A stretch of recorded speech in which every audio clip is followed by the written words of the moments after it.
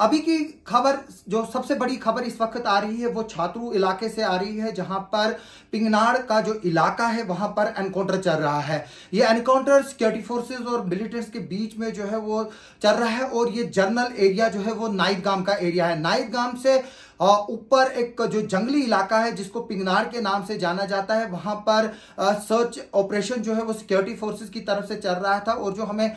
Information मिली है, वहाँ पर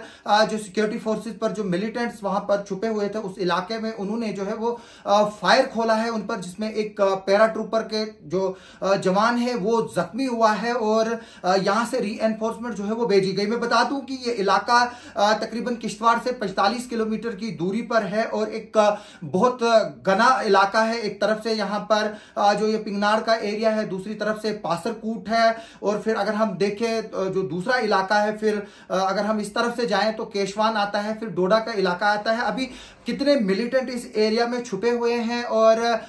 कितने लोग हैं, उसके बारे में जो है वो अभी तो इंफॉर्मेशन नहीं मिली है। लेकिन ये जो जंगल का इलाका है, वहाँ पर एक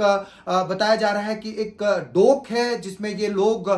छुपे हुए थे। अभी सिर्फ़ यही खबर आ रही है कि वहाँ पर एक जो हमारा जो पैरा ट्रूपर है, उसको जो है वो गोली लगी है और वो जख्मी हुआ है और उसको जो है वो किश्तवाड़ हॉस्पिटल की तरफ़ जो है वो शिफ्ट किया जा रहा है। मैं बता दूँ कि नाइट गाँव से ऊपर तकरीबन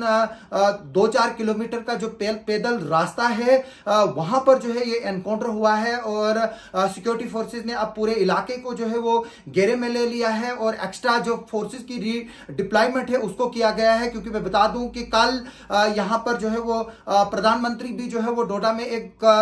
जनसभा से जो है वो संबोधित करेंगे और 18 तारीख को जो है वो जिला किश्तवाड़ में जो है पहले फ़ेज़ में जो है वो वोटिंग भी होने जा रही है और चिनाब बेल्ट की जो आठ की आठ सीटें हैं उन पर जो है वो वोटिंग होनी है। और उसके अलावा मैं बता दूँ कि ये एनकाउंटर जो है वो तकरीबन डेढ़ माह के बाद जब पडियाना इलाके में जो एनकाउंटर हुआ था और उसके बाद जो है वो अब ये एनकाउंटर आज हमें नाइदगाम छात्रों का इलाका जो है, वहाँ से जो है वो खबर मिल रही है कि वहाँ पर अभी एक्सचेंज ऑफ़ फायर हुआ है और इक्का दुक्का गोलियाँ जो है वो चल रही मैं बता दूँ कि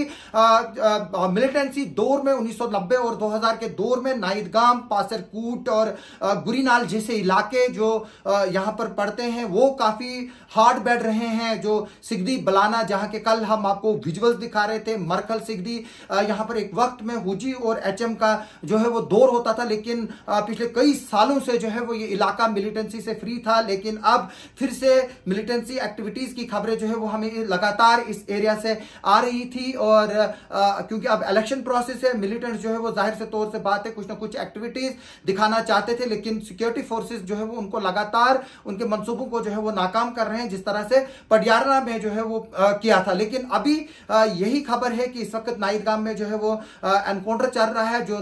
जर्नल फॉरेस्ट एरिया है नाइदगाम का जो गाँव है उससे ऊपर का इलाका है वहाँ पर जो है वो चल रहा है और हमारे को जो ऑफिशियल सोर्सेज है, उन्होंने इस एनकाउंटर की कंफर्मेशन की है और अभी बाकी चीज़ें डिटेल्स जो है वो हमारे सामने नहीं सामने आई हैं कि ये मिलिटेंट क्या किसी गुफा में छुपे थे, कितना नंबर है उनका। हालाँकि हमें सोर्सेज ने बताया है कि ये मिलिटेंट्स वहाँ पर एक डोग थी, जो अबेंडन डोग थी, जिसमें कोई नहीं था। वहाँ पर जो है वो छुपे हुए थे और जब सिक्योरिटी फोर्सेस को इन्होंने अपनी तरफ़ आते हुए देखा तो इन्होंने उन पर जो है वो फायर किया, जिसमें एक पैराट्रूपर जो है वो जख्मी हुआ। इस पर आगे भी चलकर हम आपको डिटेल्स देते रहेंगे। आप हमारे साथ बने रहिए।